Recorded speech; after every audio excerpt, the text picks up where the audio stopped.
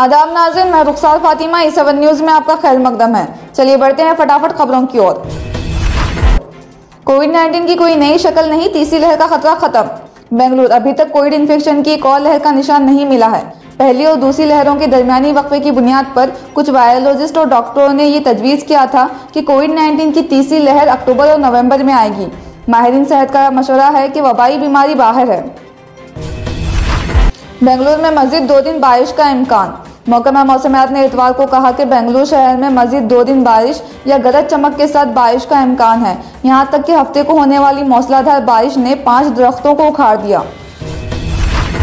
Belagavi ban मजाहिब दोस्तों पर हमला।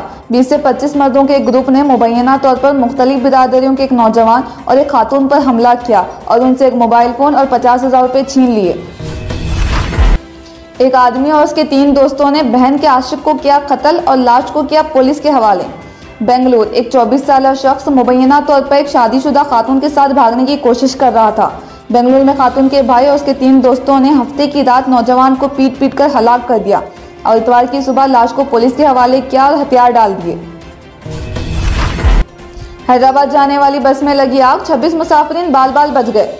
रियासत तेलंगाना के जनगांव ज़िले में छत्तीसगढ़ के जगदलपुर से हैदराबाद जाने वाली प्राइवेट ट्रैवल्स की बस में अचानक आग लग गई, जिस पर बस में सवार तमाम मुसाफिरीन ने चीखों पुकार शुरू कर दी।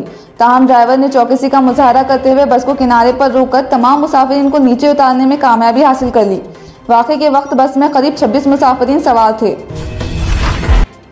हैदराबाद में प्याज और टमाटर की कीमतों में अचानक इजाफा।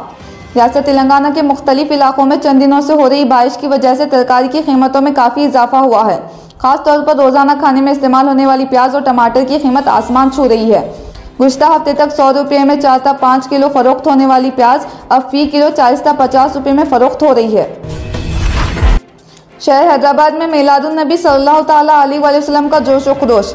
शहर हैदराबाद में जश्न मिलादुलनबी का काफ़ी जोश व खरोश देखा जा रहा है। गुजशत दो सालों से कोरोना वबा की वजह से ईद मिलादुलनबी बड़े पैमाने पर नहीं मनाई जा सकी। ताहम इस मरतबा ईद मिलादुलनबी की धूम देखी जा रही है। दशहरा त्यौहार मनाने के बाद वापसी तेलंगाना के कई मुकाम पर ट्रैफ़िक जाम। हर साल दशहरा त्यौहार अपने आबाई मुकाम पर मनाने के लिए हैदराबाद में रहने वालों की बड़ी तादाद पड़ोसी रियासत आंध्र प्रदेश जाती है। लोग दशहरा त्यौहार अपने आबाई मुकाम पर मनाने के बाद तेलंगाना के दारुलकूमत हैदराबाद वापस लौटने के सबब मुतहदा नीलगंडा ज़िले में तमाम चौराहों पर बड़े पैमाने पर गाड़ियाँ देखी गईं, जिसके नतीजे में ट्रैफ़िक जाम हो गई। मुंबई पुणे एक्सप्रेस वे पर खौफनाक हादसा, छह गाड़ियों के तसादुम में तीन अफराद हलाक। मुंबई पुणे एक्सप्रेस वे पर खोपली इलाके के करीब पीर की सुबह तकरीबन साढ़े पाँच बजे छह गाड़ियाँ आपस में टकरा गईं। उनमें तीन कारें, एक टेंपो, एक निजी बस और एक ट्रक शामिल है। उस हादसे में तीन अफराद हलाक हो गए और छह जख्मी हुए हैं। तमाम जख्मियों को करीबी अस्पताल में दाखिल कराया गया, जहाँ दो अफराद की हालत नाजुक बताई गई है। मुल्क में हलाकत है कोरोना वायरस के केसेस में गिरावट का सिलसिला जारी।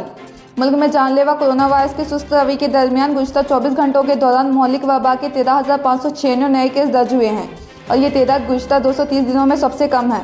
इतवार को मुल्क में इकतालीस लाख बीस हज़ार सात सौ बहत्तर अफराद को कोरोना की वैक्सीन दी गई। और अब तक सत्तानवे करोड़ पैंसठ लाख उन्नवे हज़ार पाँच सौ चालीस अफराद को वैक्सीन दी जा चुकी है। फटाफट खबरों में आज के लिए इतना ही। मुल्क भर की तमाम ताज़ा तरीन खबरों के लिए देखते रहें सेवन न्यूज़।